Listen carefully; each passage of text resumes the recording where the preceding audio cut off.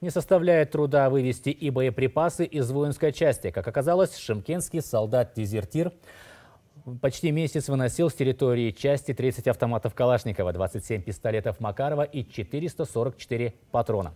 Сегодня представители МВД рассказали нашим журналистам, что у беглого военнослужащего были пособники, которые также задержаны правоохранительными органами.